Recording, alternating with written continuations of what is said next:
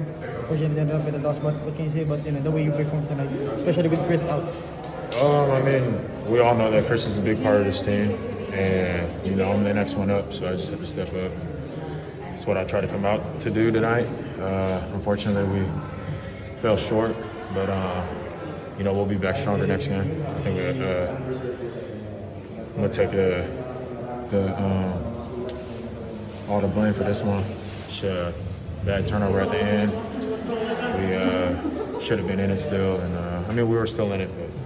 Uh, I'm gonna take this one on the chin and uh, be better next game. Well, speaking of that man right there, Coach Tim, after the game, can you just tell us about that brief exchange after the game? Oh, he just asked me like, "Oh, did I have to get hot right there and then?" I was like, "It's been a it's been a long time due. I mean, uh, I knew that you know I'd be putting in the work, so it was just a matter of time till my shot starts to fall, and then surrounded by great shooters like Marcio Lassiter, Robbie Herndon, and Jericho Cruz and CJ and all them. So and Vaughn. So you know those are my guys that I shoot with, and Paul Zamar and them. So uh, my teammates had a huge impact on you know how I shot today. You know, just giving me confidence and stuff.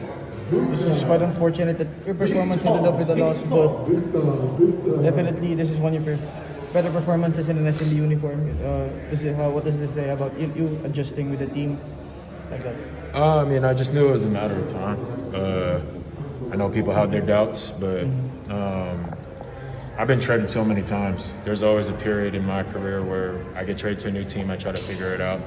And this team has so many weapons that it just took a little bit longer. Coach, uh, what did you tell uh, Simon Enciso after, after the game? I told him it was a wrong time for him to get hot. That's literally what I said. That was a wrong time for you to get hot, right there in that fourth quarter.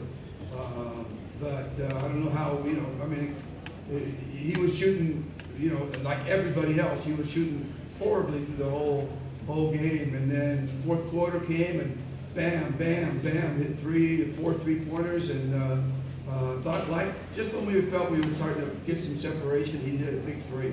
So uh, um, you know, he's got big shoes to, to fill with Chris gone. I mean, uh, Chris is a special player, and he's got big, big shoes to fill. So he done, you know.